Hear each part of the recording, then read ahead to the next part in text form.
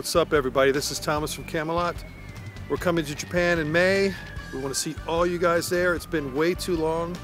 We can't wait to come back. We're going to bring our friend Alissa from The Agonist with us, and it's going to be a massive party. So we'll see all you guys there. Rock on.